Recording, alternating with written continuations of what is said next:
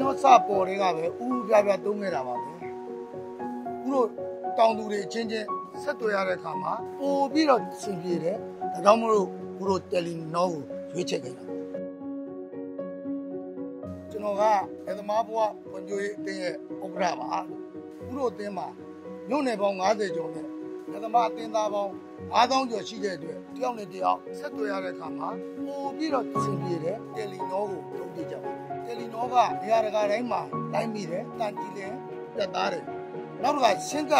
ဝေကဝယ်တဲ့အခါမှာလည်းပဲဘယ်နေရာမှာဖြစ်ဖြစ်ဝယ်လို့ရတယ်လွယ်ကူတယ်ဒါကြောင့်မို့လို့ခုတို့တယ်လီနောရှင်းကကိုတုံးနေကြတခါရုံးကဆိုရင်ဝီရှိတ်လိုက်တာလက်ရကြည့်ပြီးပေါ့ဘူးတော့ဘူးလေအဲ့ဒီနေရာတော့ဝမ်းသာဆုံးနေပါလေဒီတိနံပုံးမွားတွေနဲ့ပတ်သက်လို့လည်းပဲစိုက်ပျိုးပညာရှင်တွေကိုသူတို့တယ်လီဖုန်းနဲ့ဆက်ပြီးတော့တောင်းဝန်မားတွေကိုပြန်လည်မျှဝေပေးပါ စိုက်ပျိုးရေးနည်းပညာအချက်လက်တွေတိနံရဲ့ဈေးကွက်အခြေအနေတွေကိုအချိန်နဲ့တပြေးညီသိလို့ရတဲ့အတွက်တောင်သူတွေအနေနဲ့တော်တော်အကျိုးများပါတယ်